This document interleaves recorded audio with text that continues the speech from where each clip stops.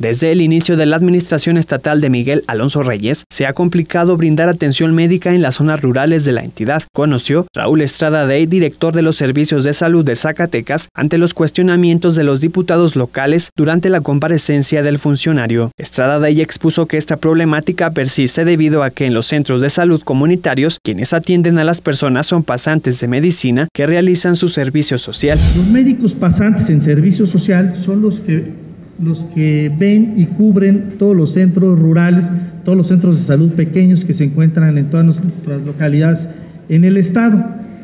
A raíz de que hace tres años vivíamos una, una sensación de temor,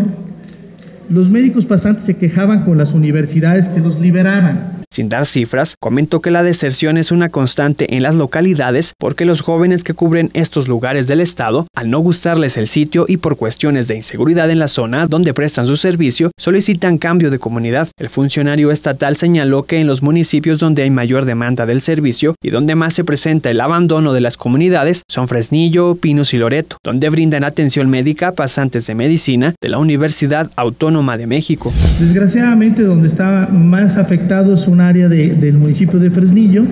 y toda el área de, Pinos y Loreto y toda eh, esa área, esa área le corresponde a la UNAM, a la Universidad Nacional Autónoma de México. Por ello, legisladores como la perredista Eugenia Flores Hernández cuestionaron al titular de los servicios de salud acerca de qué falta para que esta dependencia se eleve al rango de secretaría, pues enfatizó que los zacatecanos reciben mala atención médica al ser atendidos por pasantes de medicina, mientras los profesionistas se encuentran desempleados. Durante la comparecencia, la diputada de Movimiento Ciudadano María Soledad Luevano Cantú reclamó que es insuficiente la atención que brindan los servicios de salud en la entidad frente a la demanda de la población, pues reprobó el desabasto de medicamento para el tratamiento de enfermedades que padecen los zacatecanos. Para nadie es un secreto